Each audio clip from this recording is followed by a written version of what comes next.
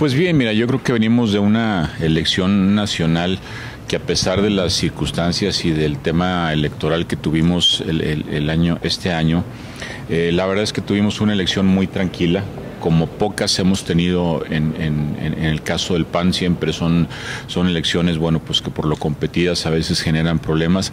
En esta ocasión, y creo que, que una ocasión muy importante, tenemos una presidencia que surge de un proceso primero democrático, y segundo un proceso sin confrontaciones. Entonces creo que eso nos fortalece mucho y espero que podamos de alguna forma replicarlo también en lo estatal. Aquí hay otro tipo de condiciones por diferentes circunstancias, pero en el caso del PAN, en lo particular, aquí en Durango yo también lo veo con mucha tranquilidad, sin mayores problemas internos. A lo mejor hay discusiones en relación al tema municipal, por ejemplo, pero creo que en lo interior estamos eh, pues eh, en un ambiente eh, bueno previo a un, a un escenario electoral. ¿Debe ir en alianza el partido?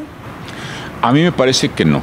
Yo creo que salvo algunas excepciones, sí me parece que el PAN, pues una vez que ya a través de las alianzas, pues pudo eh, vencer ese este monopolio político que teníamos aquí en Durango, sí me parece que en el caso ahora, pues sí debemos considerar la posibilidad de, ir solos, de tratar de empezar a, regresar un poco a, a esos principios, esos valores, a esas ideas que durante muchos años el PAN ha tenido y que creo que con estas alianzas de repente se han tal vez desdibujado y yo sería de la opinión que la próxima elección el PAN debiera ir solo. Ahora se ha hablado mucho de cobijar personajes externos, como se hizo en algún momento. ¿Sería conveniente?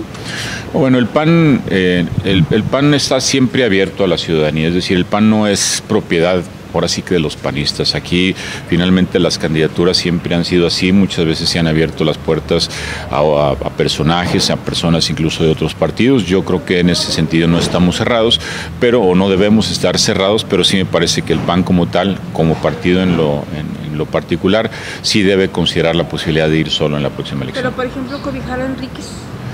No, bueno, el caso Enríquez es un tema ya muy, muy particular. ¿no? Nosotros creo que ya hemos definido un grupo importante dentro del PAN que, que con Enríquez, bueno, él simplemente utilizó al PAN como, como un vehículo, un partido al que incluso ha traicionado, me parece, fue, fue contra nosotros en la campaña pasada y Enríquez yo me parece que no sería para nada una, una, una posibilidad.